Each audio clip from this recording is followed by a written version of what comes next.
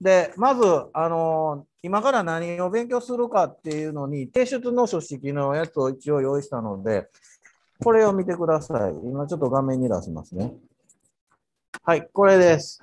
えっ、ー、と、今日は集合住宅の、あの昔から現在、未来にかけてっていう話をサクッとして、で、要は集合住宅の、要はプランを提案していただきます。実務、これ実務ということで。要は、イメージボードっていうのをちょっと作ってほしいなっていうのを、あの、レポート課題にしようかなと思っているんですけども、これは、あの、今回 A3 サイズの横向きです。で、パワーポイントを、あの、サーバーの方にももう上げてるので、それを使いたい人はそれ使ってください。これこのまま入ってます。パワーポイントがね、サーバーの方に。なので、それを自由に使ってください。で、はい、まず、今日、あの、集合住宅のお話をします。集合住宅の、まあ、中に、レジェンドと最新の部分っていうのを少し紹介しているので、これについてはどちらでも構いません。なので、今日のレポートとしては、レジェンドの調査、もしくは最新の情報のところをレポートの調査をするっていうのがまず1個目です。OK ですか？ということになります。ここまで OK でしょうか？皆さん。大丈夫ですか？で、あの、レジェンドの調査っていうのは、今から解説するプリントの中に、今まで、まあ、すごいと言われているところを紹介をしています。そこから選んでということです。はい。で、続いて、えっ、と、80平米のマンション。要は、これは、あのー、N 社、N 川工務店っていうところがやってるオーソドックスなパターンの80平米のプランっていうのがマンションがあります。ああいう感じで柱型があって、こういう感じで見えてると。で、まあ、こういう感じですね。平面図で言うと。はい。非常に80平米の、まあ、今までで言うと、そうですね、3LDK もしくは 2LDK なんとかできるっていう部屋のプランのやつです。日本の典型的なパターンのマンションの大きさです。で、これってもう築25年とか、下手したら30年前からあるパターンです。分譲マンションとしては。それをリノベーションするっていう前提で、まあ、各自何かしら図面を描くというよりもイメージボードっていうのを作っていただいて、こんなんどうでしょうというプランを提案していただこうかなと思っています。なので、本当にインテリアの実務レベルの話です。お客さんに、もうあの、こうってフルなって、家族も息子や娘みんなも嫁いでおらへんから、わしと嫁はんだけやねんみたいな話の時に、なんかかっこええ感じにしてよって言われて、で、生活は言うたら、まあ息子とかはたまにお正月とかにしか来へんから、まあ二人で楽しく近所の人らとパーティー、宴会じゃなしにパーティーしたいからなんかやってよって、まあ頼まれたというような感じでいいと思います。だから、お客さんは僕と僕の奥さん。そんな感じやと思ってください。だからお金持ってる。前提とした。でももう家族は自もうもう個人個人も結婚して外で暮らしてるから、まあ孫連れてたまにしかけへん。でも僕と僕の奥さんは言うたらパーティー好きで宴会好きで、まあ仕事も今でもやっている状態で、お客様って結構出入りがある。で、二人ともどっちかといと仕事はしてると。で、ホームワークでできるっていう設定やと思ってください。なので、最低限必要なのは、二人が、まあ仕事できるテーブル、これは一緒じゃなくていいです。で、奥さんはどう違うと、キッチン周りがテーブルになっててもいいっていう解釈でも構いません。そういうニュアンスで思っておいてください。はい。で、旦那さんはどこでもええと。テーブルとパソコンさえあればいいので、Wi-Fi が飛んでたらええわ、みたいな感じですね。まあ、そんなニュアンスでちょっと思っておいてもらって、で、寝室は2人で、まあ、あの、一部屋、ないし何か寝れるところが確保できたら、あとは本がバカほどある。まあ、そんな感じで、どうしたらいいっていう相談を受けたという。で、プランはもう任せるわって言われたらどうします？皆さん。で、その時に、あの、要は、こんなイメージっていう図面の前に一回こういう生活できるかなっていうのを一回提案するのを持ってくるんで見てもらえますか？みたいな話になってたというような感じやと思ってください。ここまで OK でしょうか？だから、要はそれをイメージボードとして作るって言い方です。イメージボードっていうのはこういうやつです。で、あのー最近はムードボードって言い方をします。要は、この部屋やり替えた時に、こういう暮らし方が新しくできて、お客さんとこういう会話ができるんですよっていうような、その空気の雰囲気、空気感をこう伝えるために、ムードボードって言い方を最近はよくします。今まではイメージコラージュとかって言い方をしてたんですけども、そのムードボード、まあ、お客さん来て会話してるとか、あのみんなでキッチンで何かやってるとか、でそこにどういう色の組み合わせで家具をどういうふうに使われてるかっていう、そういうふうなものを考えてくださいということです。OK ですか？はい。で、一応、あのこんな状態で、パワーポイントのとこには参考になる椅子とかテーブル切り張りしてここにペッて貼れるように用意してます。なので、こういう感じで置いてみるとか、何か部屋が必要であれば、あの挿入で四角とか、こんなんで部屋をこういうふうに区切ってとかっていうので表現してもらうのも自由です。ただし、ここのページはどっちでもいいです。提案上必要やったら考えてください。なので、一応、パワーポイント上にこれは用意しているので、まあ、使う、使えへんっていうのは各自自由にしてください。提出してもらうものとしては、これです。この部屋に対してっていうね。この、この平面図のレイアウトのこの大きな区画80平米に対してっていうことです。なので、要は、今回の提出物っていうのは、80平米マンションリノベーションインテリアイメージ提案書っていう形になっています。で、まずは、今までの集合住宅とはこんな感じでしたよとかっていうのをまとめると。これはいつもの調査のやつですね。で、今回はこの80平米に対して、こういうムードボードを作ると。で、ムードボードに関して、これ逆にあの、これをコピーして、こっちに貼り付けて、これを縮小して、で、例えばゾーン的なものを表したいんであれば、こんな感じで、こういうふうにゾーン作って、ここ仕事場、ここなんやらかんやらっていうふうにやって表現してもらって、あと矢印とかをつけるとかっていうのを加えてもらうのは各自自由で構いません。こんな感じで矢印つけるとかで。やるのは自由です。ここまで OK ですか？皆さん大丈夫ですか？なので、平面図に関しては各自自由です。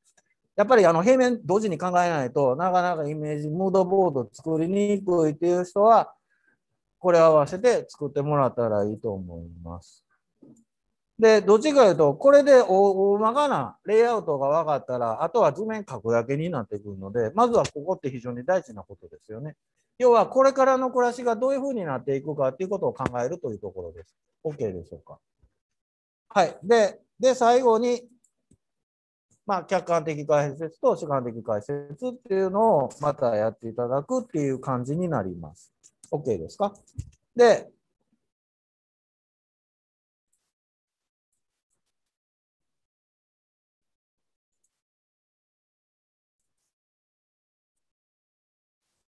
はい、一応、スタイリングの資料参考にお配りしているので、要はナチュラルにするのか、要はポップにするのか、モダンにするのかっていうのだけでも暮らし方変わりますよね。家具も変わりますよね。色の構成も変わってきますよね。なので、要はそのあたりの資料を今回は添付しているので、使ってください。で、これはプラス、こう、縦軸、横軸で、縦軸はデコラティブとシンプルっていうのになってて、横軸はウォームとクールっていうので、要はスタイリングとしてどういう位置づけされてるかっていう、俗に言われるスタイリングのところを、こういうふうに表現をしたやつを用意しました。で、これは実は全く一緒のところから、色の組み合わせだけでスタイリングを分けてるっていうパターンです。なので、要は、あのームードボードを作ってもらう前提としては、必ずテーマをつけてください。なので、ナチュラルにするのか、モダンにするのかだけでも変わりますよね。スカンジナビアって言ったらモダンでもナチュラルにあたあちょっと明るい色組み合わせてって言ってたとかになってきたりするので、要はそういうところをどうするかっていうテーマ設定を考えてください。で、最後のページに一応その大まかに分けた、ここに見ていくと、カジュアルとかクラシックとかアジアとかインダストリアル。インダストリアルというのはどっちかというと工場的なっていう意味です。工場のような、こんな感じですね。むき出しの。そういう感じ。で、北欧とかって入れてます。で、えっ、ー、と、これ隣の写真は僕の知り合いが Facebook で出してるやつですけども、ムードボードっていうのは通常こういうふうに使われてます。これを皆さん作っていただくということです。なので、インテリアの仕事っていうのは、あの、このムードボード、非常に重要です。あ、こんな生活これからできんねんなという。だから、この配列の仕方とかで全然おしゃれ度が変わってきます。なので、そこも含めてどういうふうにやっていくか。で、スタイリングで分けていくならこういうふうなものをヒントにしてくださいというので、一応資料を用意しています。OK ですか？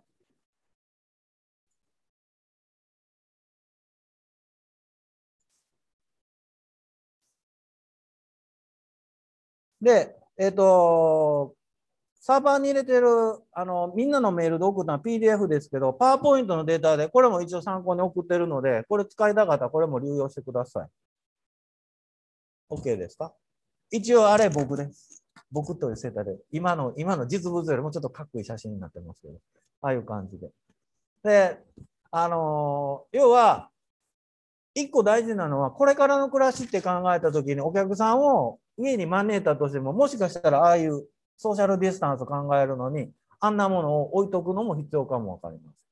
だから、暮らしの中にお客さん呼ぶのはいいですけど、一応そういうソーシャルディスタンスやりましょうね、みたいな提案っていうのも、これからの空間には非常に提案の材料としては大事なことになるかもしれないんで、ああいうことも写真ペット入れとくっていうのもありかもしれない。で、ようやく最近、そのテーブルのところの横にあるやつとか、ここにあるおしゃれなものいっぱい出てきました。実は SNS 上ではかなりの話題になっています。なので、そういうことも含めて、まあ、要はナチュラルとかっていうモダンにするかっていうことと、さらにあの下にエンジョイライフスタイルってなってますよね。要は自分でサブタイトルもつけてください。メインタイトル、ナチュラルとかモダン。それをもうちょっと具体的に言うと、どうやみたいなのを考えて、考えてもらうということです。ここまで OK でしょうか？大丈夫ですか？はい。ということで、えっ、ー、と、今日パソコンを持ってきてもらっているので、できるだけ解説は少なくしたいと思うんですけども、で、一応、あの、参考のこういうのも貼り付けているので、何かしらヒントになるんやったら使ってくださいということです。OK でしょうか？はい。ここまで何か質問はありますでしょうか？大丈夫ですか？オンラインの人何か質問ありますか？大丈夫ですか？はい。じゃあ次、あの、解説の方いきますね。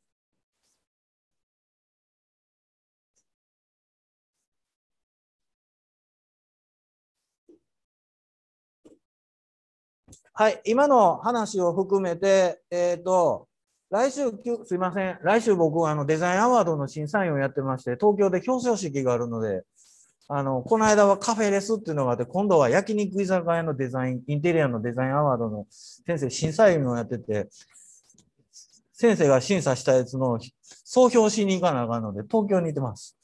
なので、オンラインやりたいと思ってんけど、その時表彰状って言ってるんで、来れません。なので、あの、またこれも時間あれば、今のコロナ禍の時代に、どんな焼肉とかレストランができてるかとかいうのは、カフェもかっこいいのができてるんで、まあ、ご紹介できたらなとは思ってはいてるんですけど、何分時間がだんだんなくなってきてるんで、はい。で、一応念のために7月30日、歩行を取りました。歩行参加しようかなと思う人。参加しようと思う人がいなかったら、もうレポートだけにします。OK ですか？はい。で、一応最終日簡単な小テストをします。はい。で、小テストプラスレポートで評価をします。OK ですか？小テストというのはもしかしたら、この作ったレポート1個発表してくださいとか、そんなことかもしれません。なので、ペーパー試験じゃないかもしれませんので、そのあたりも頭に入れておいてください。OK でしょうか？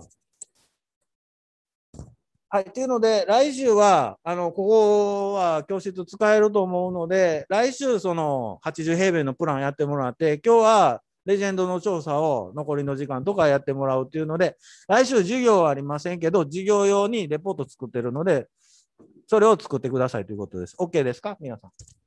はい。はい。ということで、こんな感じです。えっ、ー、と、古民家、古民家の時から、要は提案が入りました。で、この集合住宅で今度リノベーション提案ということです。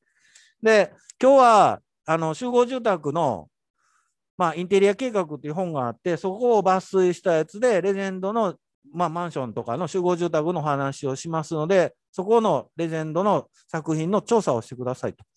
で、あそこレジェンドと最新ってなってます。これどっちでもいいということです。レポートとしてはどっち選びますかっていう話ですね。なので、どっちでも構いません。これ見えてるかな？はい。で、これ来週ですね。今日配ったプリントの80平米のリノベーションプラン、ムードボードを作るということです。はい。なので、5ページ以上ってなってるけど、このページ数はお任せします。表紙があって、どうしていくか。で、最後のページに客観的、主観的化して、ずっと入れてくださいっていうので、一応スケジュール的には今日が6月24日で、7月1日休校で、ここは作業日に当ててください。いいですか？で、7月7日中に提出でいいかな、みたいなと思ってます。7月7日は今度、邸宅のムードボードを作っていきます。今度、邸宅です。めっちゃでかい。でかいやつです。それを2回に分けて行います。だからめちゃくちゃ広いリビング。それのムードボードを考えてもらおうかなと思っているので、えっ、ー、と、7月8日、その次の週っていうのはもう違うムードボードを作って、もっとインテリアのこうパパパパ提案ができるようにっていうのを考えてもらおうと。そういうことです。OK でしょうか？はい。はい、じゃあ今から集合住宅の解説をやっていきますね、ざくっと。はい。で、実は、あの、こういう都市っていうのは、これ第二次世界大戦の前にもこういうことが考えられてました。これ、コロビジェが都市の計画を考えてたやつです。なので、それが今、スタンダードになって、もう世に当たり前のようになっているということですね。で、日本には結構代表的なものがたくさんあります。こんな感じで集合住宅の事例ってなってますけども、はい、同潤会アパート。これは関西、あの関東大震災の後、住むところがなくなったんでっていうので、その後、こういろいろできていきました。もうかなり古いので、同潤会アパートっていうのはほぼほぼもう日本に存在してません。ただ、あのー、表参道のところにも同潤会アパートがあって、その跡地に、あのー、安藤忠雄さんが商業施設を作ってて、ちょっとだけ同潤会アパート残ってたりします。こういうのがあります。で、次に、晴海の高層アパート。これも1955年。まあ、結構古いですね。こういうのがありましたっていう話です。で、よく見ると、なんかこう、2個3層、6個単位とした住宅群とかっていうので、もうだいぶ前からマンションの集合住宅っていうのでも、結構いろんな手法を考えて実現しているっていうのがあるっていうことですね。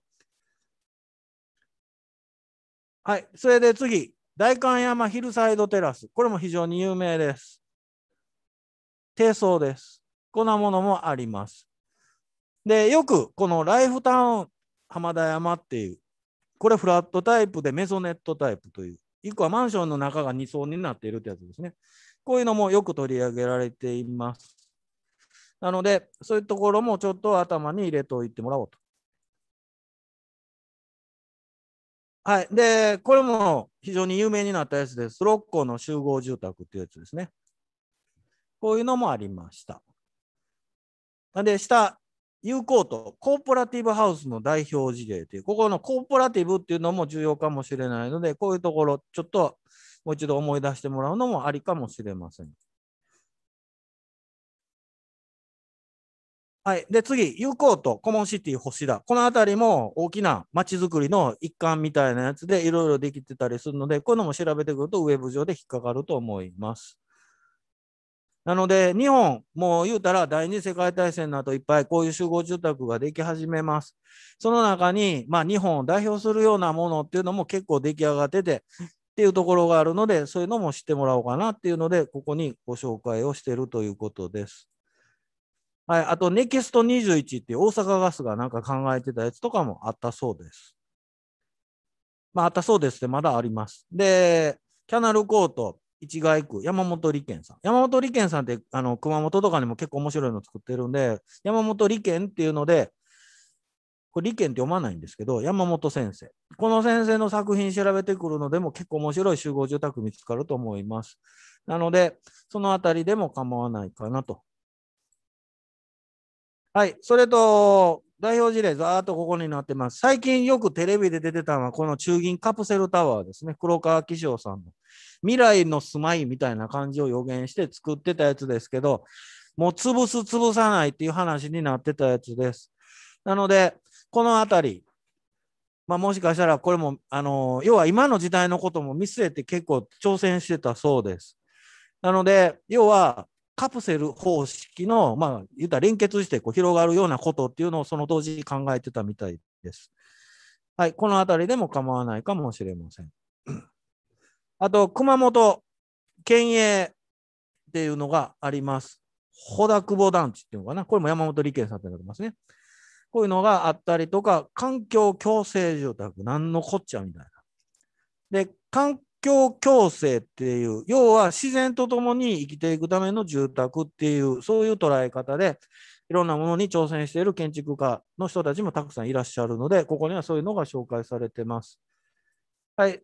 で、これは逆に言うと、ウィキペディアにも必ず出てきます。コルビジェが挑戦した集合住宅、ユニテっていうやつです。ユニテ・ダビダションっていうのは、結構いろフランスの各地にあります。低所得者層のための集合住宅です。でもこの中に気をすくお店があったりとか、結構いろんな要素が混じってる形ですね。で、今逆に世界遺産に話がなるぐらいになってて、今部分的にホテルとして借りれます。めっちゃくちゃ狭い間口です。それで細長くて、そこが2層になってたりとかしてて、非常に面白いことを考えられてます。ああいうふうに2層になってるよね。メゾネットになってます。メゾネットになってたりして作られてるっていうところで、これも非常に、あの、これレポートとしては非常にまとめやすいと思います。なんぼでも言葉が出てくると。で、要は鉄筋コンクリートで建てられてて、面白いのは1階がピロティになってるという、コルビジェの5原則。も必ず入ってるっていうことです。そういうところ。で、今もなお現存してて、逆にあのその部屋を改修してかっこよく今の時代に暮らせるようにとかっていうのも発表したりしてるんで、そういうところ見てもらうのもありかもしれないので、はい、これは逆にそういうところっていうのをを調べてみてください。これ特徴的には中廊下式です。ここが廊下で。片廊下っていうパターンじゃないですね。中廊下。でも、まあ、中廊下式片廊下っていうのはプライベートにうんぬんっていうのがあったと思いますけども、どちらかというと集合住宅にはどちらにしろ上に行ったり横に行ったりしないといけないので、何かしらこういう共用部分が出てくると。そういうところから何か自分が面白いなっていうレジェンドの作品からヒントにレポートしてみるのもありかもしれません。はい。で、ここからは現在です。えこれはアムステルダムの東部湾岸地区の再開発という、こういうのもあります。これも結構ネット上でいろいろ引っかかると思います。で、はい、オランダのアムステルダムって海抜マイナスの地区です。で、実は間口によって税金変わります。だから下手すると扉1枚だけで奥に長いっていうところもあったりします。で、税金が高いんで、ボートハウスって言って、運河の上にボートそのボートが家になってるっていうパターンも結構あって、これはこういう街づくりで新しく作り直した。これ、これ、縦が一軒家です。全部。でも間口が狭いっていう状態ですね。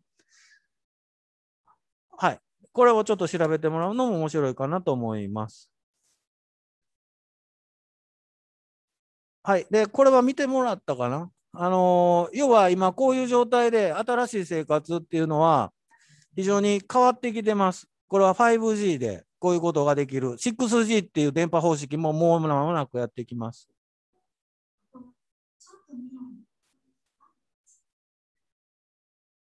はい、ドローンで間もなく宅配始まります。ちなみにドローンタクシーの試運転も始まってるからね。あんな状態で配達してくれるっていうことが現実になっていきます。冷蔵庫喋ってくれますよね。何かなくなると冷蔵庫が言ってくれます。今ちなみにあの Google であれできるよね。喋ったり、電気オンオフも。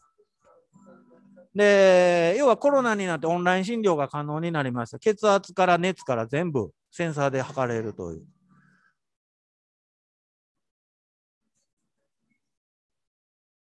はい、スマート農業、こういうことも始まります。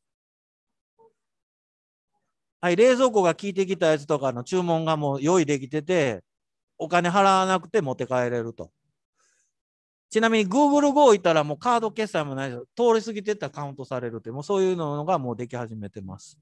なので、要は、暮らしの中はこういう感じで非常に便利になっていくっていうのがもう目の前に来てます。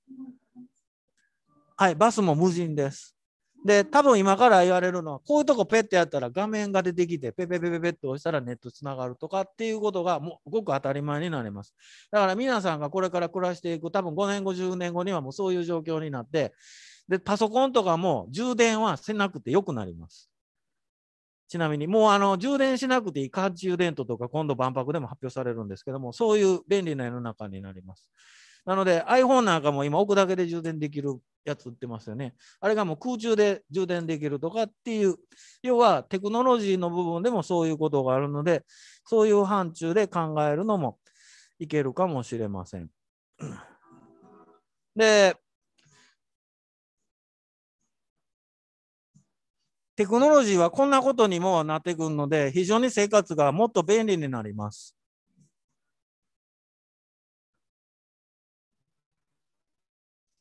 ちなみに、あのー、これはアメリカのウォールマートいったらこんな感じでやってるし、建物 3D プリンターで建てれます。はい、いろんな工業製品、車とかも自動でやってくれます。コーヒーも機械がやってくれるとかっていうことが、あの工場では、ああいうトラクターが無人で勝手に動いてるとか。はい、車も人が歩いてたら勝手に止まってとかっていうことで事故を回避できるとかっていうこともどんどんできるし、はい、ハンバーガーああやって作ってくれるという、そういうところまで来ています。で、これがもう本当に目の前です。で、ちょっとコロナ禍で、ちょっと出遅れてますけど、逆にネットがさらに進化したので、まあ、本当に目の前にやってきている現実の世界っていうのはこんな感じです。で、実はあんな感じで、あの現場であのロボットがパネルをつくこう取り付けるっていうところまで来てたりするので、非常に便利になっているっていうこともちょっと覚えておいてもらうといいかもしれません。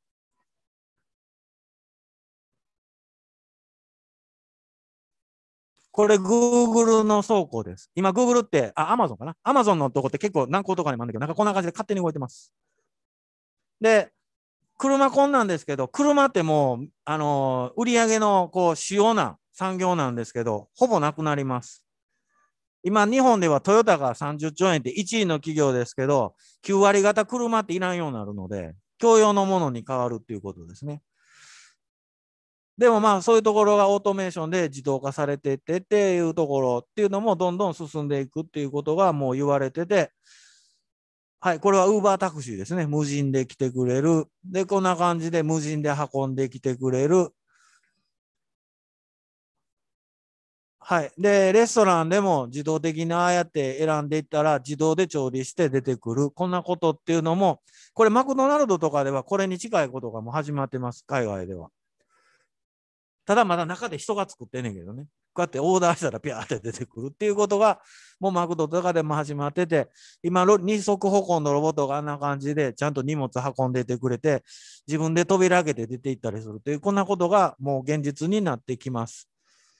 はい。これでもちなみにこの映像ってもう2年前やからね。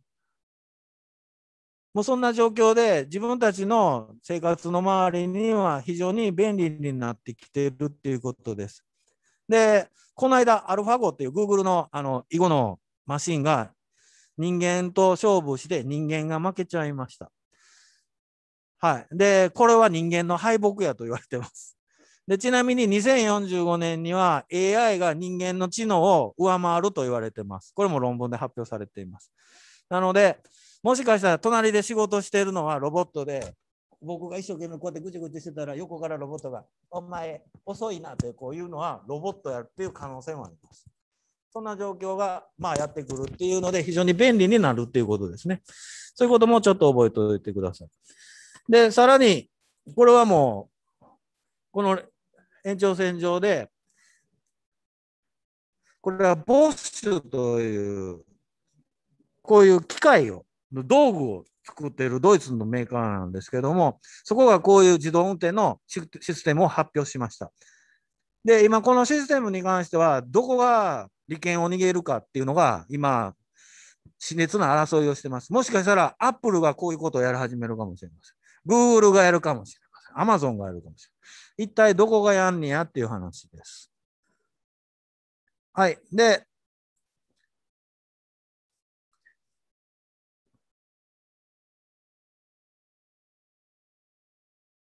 これはコマーシャルでもやってるかと思うんですけども、車は車あのトヨタは車を作るのやめます。30兆円が、あの実は車の稼働率って日本で10%以下です。ということは9割眠ってます。動いてません。で、自動運転に変わると、100%稼働になって、車って共有物に変わるんで、個人の所有はよっぽど好きな人が持つっていう世界に変わります。で、要は、トヨタはこれから街を作りますっていうのを2年前ぐらいに発表して、今工事が始まりました。で、これは富士山が見えるトヨタの発祥地の工場のところに街を作り始めます。これ今のトヨタ秋夫社長ということです。で、これは考えた時のプレゼンテーションなんですけども、でどんなものができるかっていうと、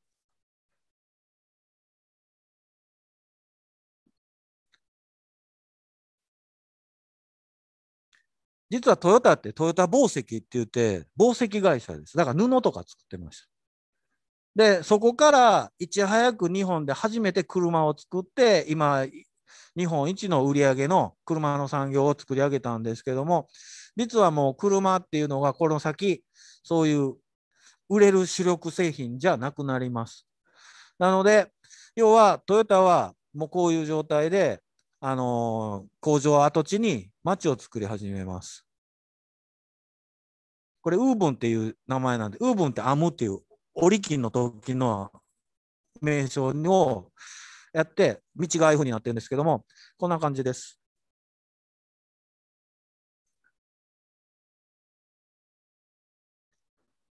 あこの辺見といた方がいいよ。こういう感じで、よう見たら AI がなんか動いてたりとか、遊んでるペットがロボットやったりとか、で、照明器具浮いてるとか、はい、配達はああやってドローンがやってきたりとかっていうことがもう本当に目の前にあって、これは今もう工事が着工始まりました。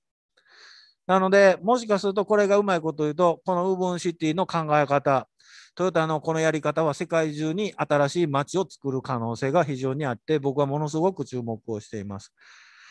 はい、こんな感じですね。コロナ禍の中、こういうのが始まっています。はい。で、もう一つ忘れたらあかんのは、あの、要は、あのあんまり作りすぎてて、日本は800万個の空き家があるっていうことを前提にすると、その空き家をうまく利用するとかっていうことと、コロナ禍になって熊健吾さんは、あの住宅買いたいっていうことを言ってます。それと、要はもう定住っていうのを非定住。要はもう住むっていうこと自体っていうのは1個のところ高いマンションを買って一生暮らすっていうよりも移動できるっていうこととかっていうことで新しいシフトチェンジしてもいいんじゃないかっていうようなことをお話をされています。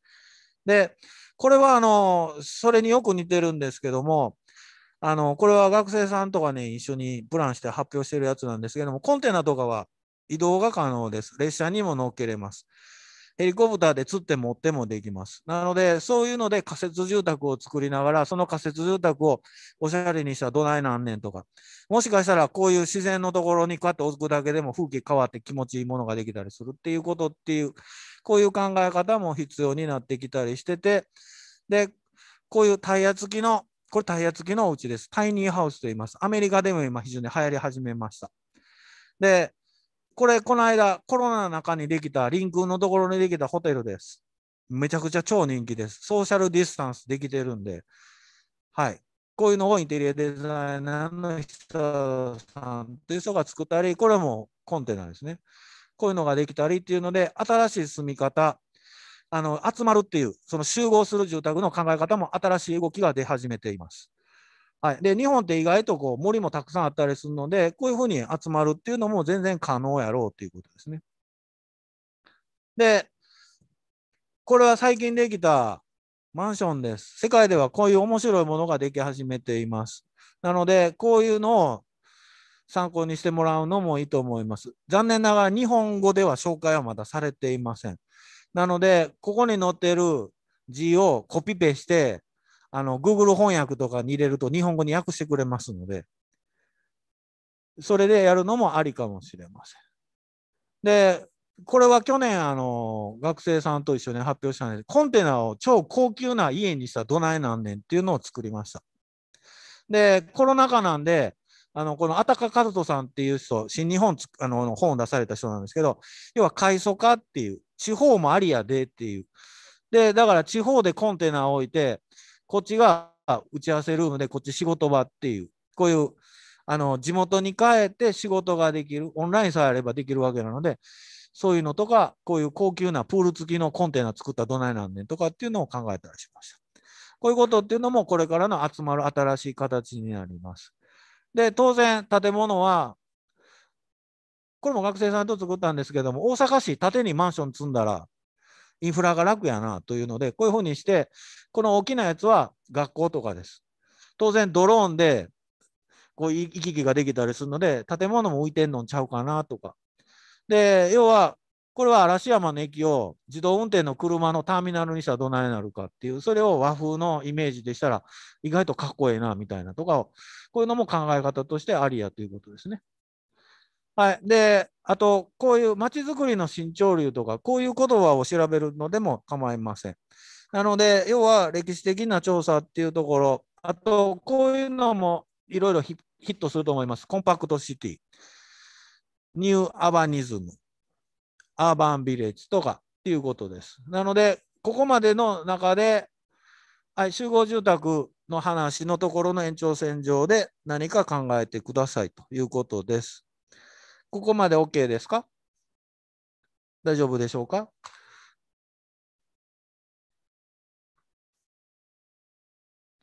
はい。で、もうちょっと進めます。で、リノベーション、いろいろ調べ、あの古民家は調べていただきました。要は困難を困難にするだけで変わってくるよっていう、こういうことを勉強していきました。で、今からやることは、要はこんなやつですね。古汚いマンションを、言うたらこんな感じに提案はできるわけです。で、現実にできていってるわけですね。なので、要は、俗に言われる80平米のもともと 3LDK のところ、皆さんやったらどういう提案ができますかという、そういうことです。で、一応ここにリノベーションって振り返ってます。リフォームっていう考え方じゃありません。壁紙とか床とかを変えるんじゃなしに、丸ごと考えて、新しい生活の場を作り直すっていうのがリノベーションということです。えっ、ー、と、あとね、最近僕よく言うんですけど、リノベーションという言葉はミラノ、イタリアから始まってます。イタリアが戦後、あのー、しばらくしてマンションが建ったんやけど、もう15年ぐらい経って、やっぱり今僕らがやろうとしてることと同じ状況になったんで、もう一回刷新して、そのマンションの中を変えようっていう時にリノベーションという言葉が出て始めました。で、それとともにミラノで家具の見本市が始まったっていう歴史があります。だから、リノベーションってイギリスの物件とか調べてても絶対言葉出てきません。イギリスはそういう言い方をしません。はい、改修って言い方をします。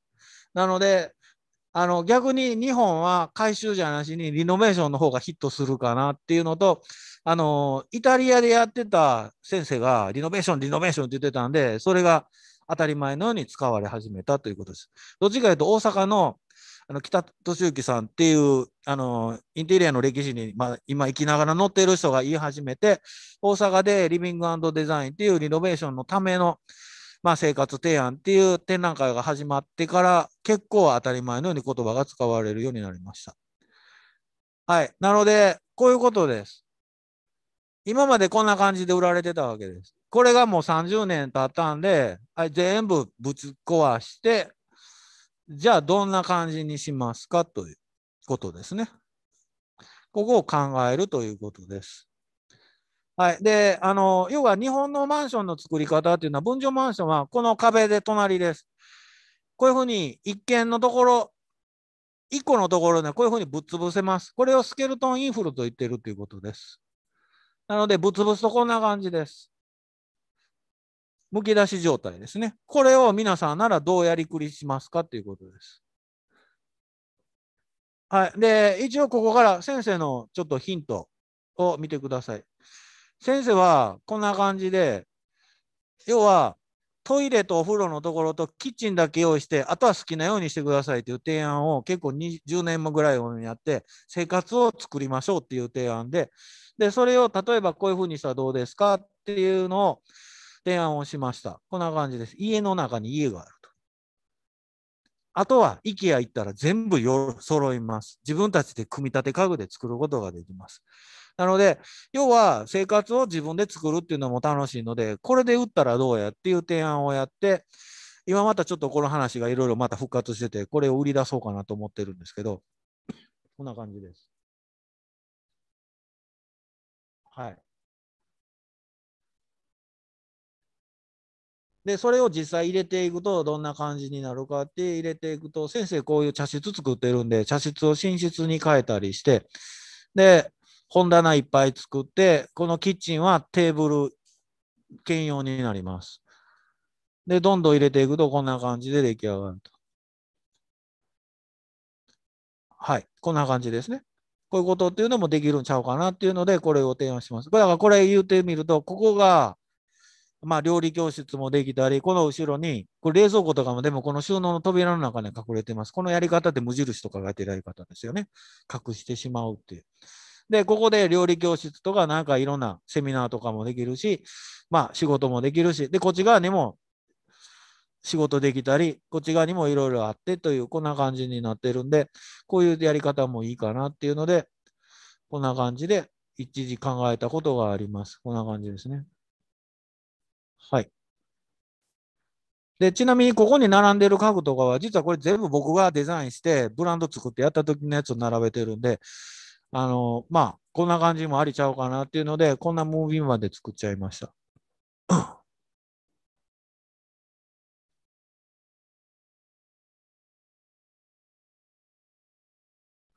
あれ画面が一個も変われへんね。あ、こんなんか。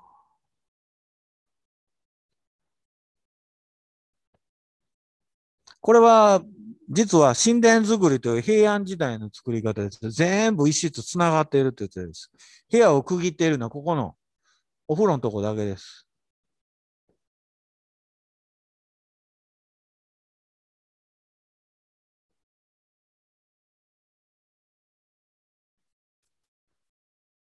はい。ということなので、皆さんならどうしますかということです。はい。OK でしょうか。はい。ということで、もう一回振り返ります。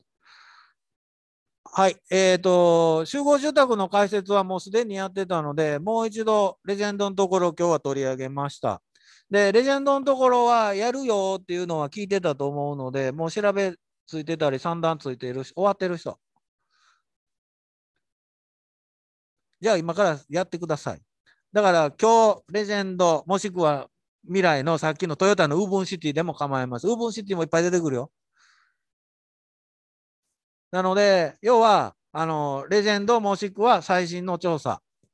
このプリントに載ってるところのやつで何かしらレポートをしてください。あそこ、レジェンド調査、最新調査ってなってるけど、どっちでもいいということです。両方してくださいじゃないです。どっちか選んでください。はい、どっちしますか？レジェンド？はい、後ろ。レジェンド？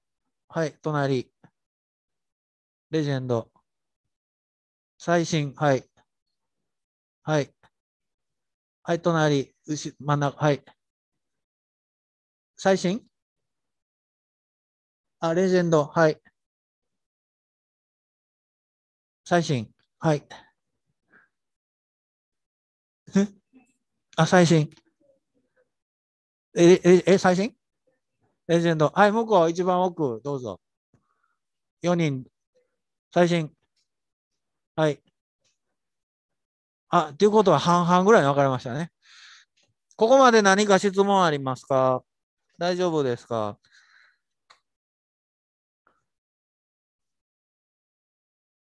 はい。ということで、えっ、ー、と、こういうふうにまず表紙を作ってください。で、サイズは A4 横です。今回は。はい。で、レジェンドもしくは最新の調査レポートを作ってください。で、これ以降は、これですね。これを、このマンションリノベーション、80平米のプランのムードボードを作って、はい、最後、客観的解説と主観的解説を述べると。えっ、ー、と、超少なくするんやったら4ページで済みますね。表紙、レジェンドのレポート、ムードボード、最後、客観的解説ってできます。OK ですか？ここまで何かご質問ありますか？大丈夫 ?OK ですか？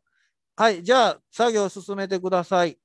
えっ、ー、と、来週休校で、その時間で自分なりにこのムードボードを作成してください。OK ですか？ただし、テーマ、スタイリング、どんなナチュラルにするのか、ポップにするのか、モダンにするのか、和風にするのかっていう、まあ、最低この4つから決めてください。で、それにサブタイトルをつけてください。OK ですか？で、このムードボードは、素材も大事なんですけども、どういう生活が新しくできるか。で、ターゲット、使用する人は僕と奥さんです。で、僕は建築家で、奥さんはパーティーオーガナイザーとしておいてください。パーティーオーガナイザーって職種あんねんで、これはパーティーどうするかとかって。だからまあ、で、どっちかというと、今までも土日は人が来てワイワイガヤガヤなってるっていう状態っていうふうに思ってください。それができるような提案っていうのを皆さん考えてくださいと。OK ですか？それをムードボードで提案するということです。で、大事なのは、あの、ああいう素材の、ああいうパネル、色の構成っていうのも分かって、それがこう網羅される。これよう見たらちゃんと、あの構成でどういうふうにやってるかっていうのをやってるんで、それをよく考えてくださいね。なので、まず大事なのは、この左上のどういう生活ができるかっていうシーン、どういうふうな笑笑ってる状態っていうのはどんな状態やっていう。で、そこで出てくる料理、どういう感じとか。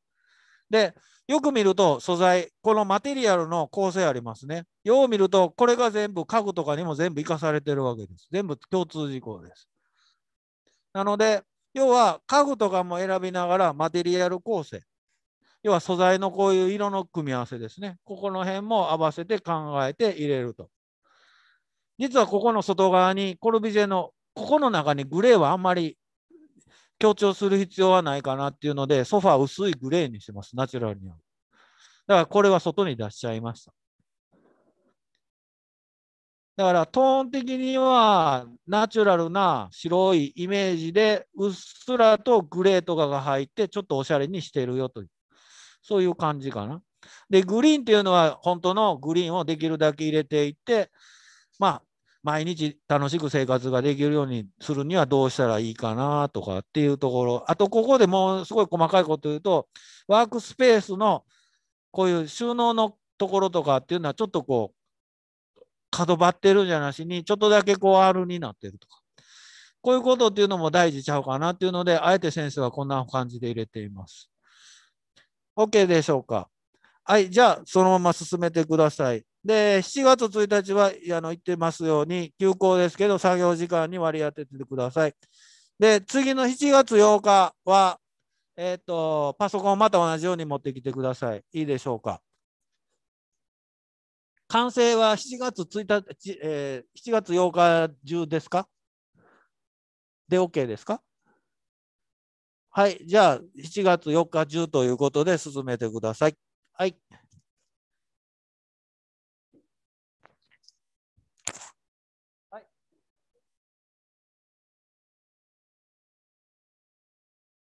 パパ、か、先生ここにあるから、USB やったら渡せるよく。USB 持ってる人。サーバーの配布の中入ってない？え？ちょっと待ってね。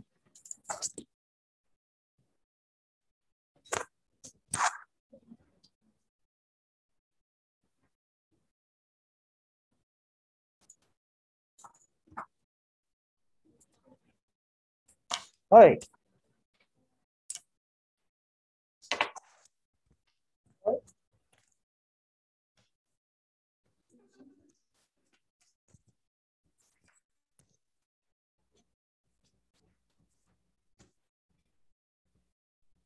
これレジェンドの。そう。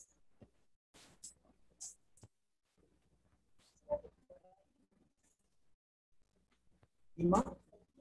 今は今言ってたとおり。なので、要は、これの提案をしてもらう。で、こっちのやつはもうやってる人はやってるから、それ聞くと。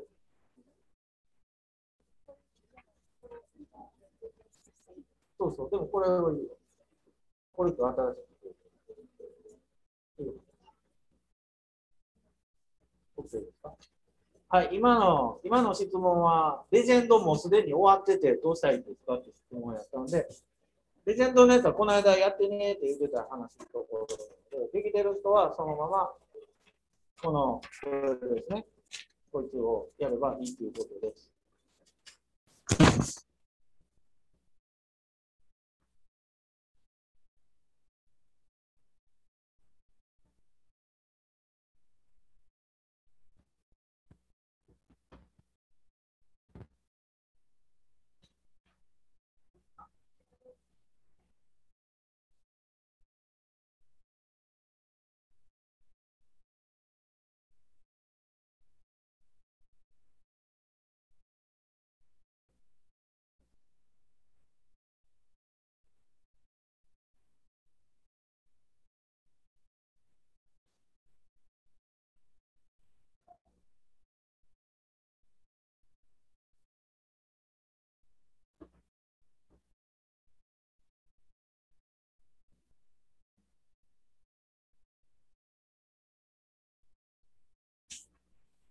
先生、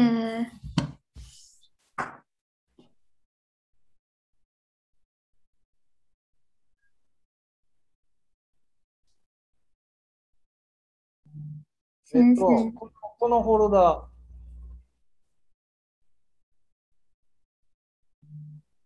こいつ6月24日、集合住宅調査80平米資料、先生、パワーポイント入ってます。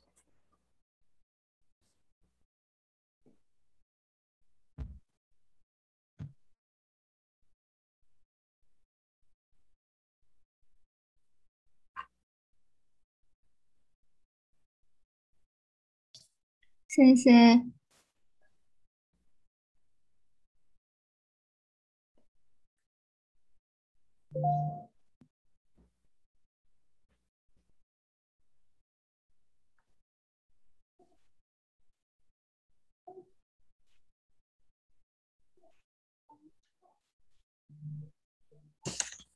はい、もう一回説明しますよ。えっ、と、集合住宅の解説はもうすでに終わってます。先生、たん、ここの終わってるこの際ですからこれはやってる人はもうすでにやってるわけです。で、そこをもう一回説明します。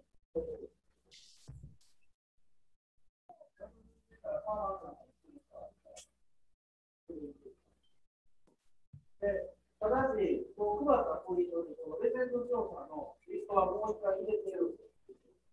ここから選んで、やってない人はやったらいいですよ。同じようにオンラインでできてない人で、今日わざわざここを入れて、熊本さん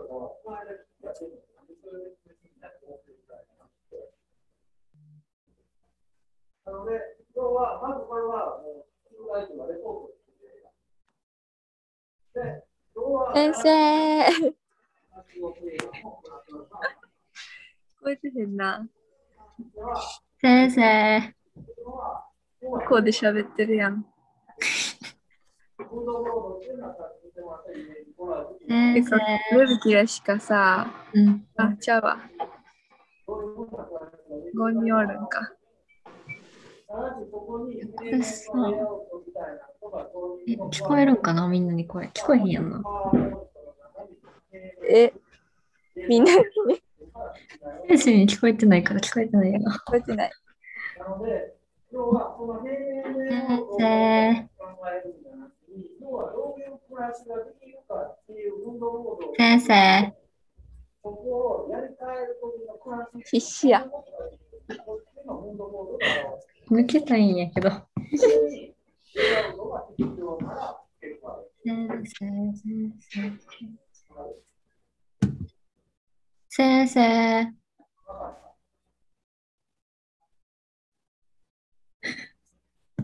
先生。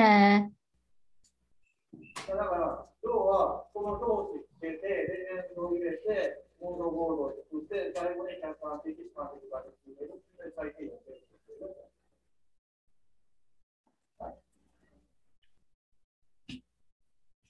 はい、いいですか？何かわからないことある人はいらっしゃいますか大丈夫ですか？オンラインの人何かわからないことありますでしょうか？大丈夫でしょうか？